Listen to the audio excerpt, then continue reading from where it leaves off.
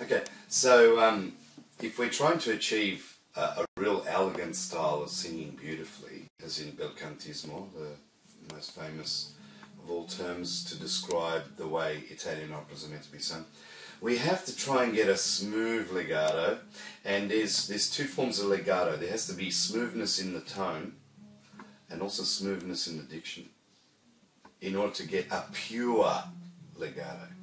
Because this legato, I could be going Caro mio ben, right? And yet, and, and I didn't break the vibration of my voice. It was it went through all the syllables on one breath, on one vibration. But if we listen to it, it wasn't pure legato because the vibration was shaky. So I broke the law of smoothness in the tone. Um, if I'm going um, caro mio ben, right? Now I'm breaking the law of the smoothness of the diction. So if consonants come out punching vowel sounds, because you got to remember, it's like con- consonant, vowel, consonant, vowel.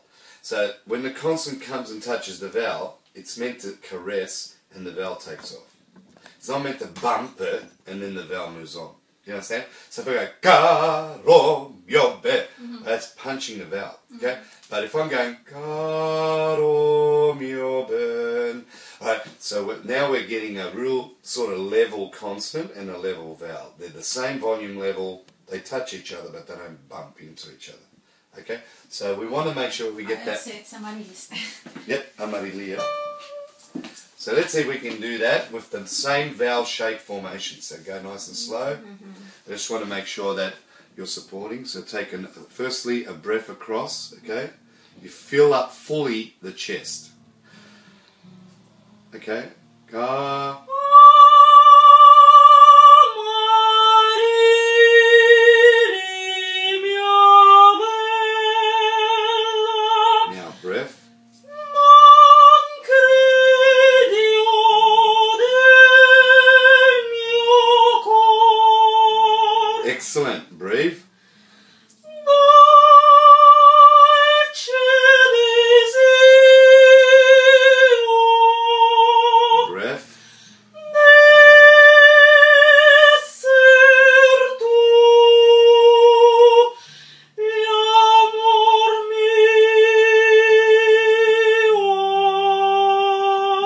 let's do that with the piano.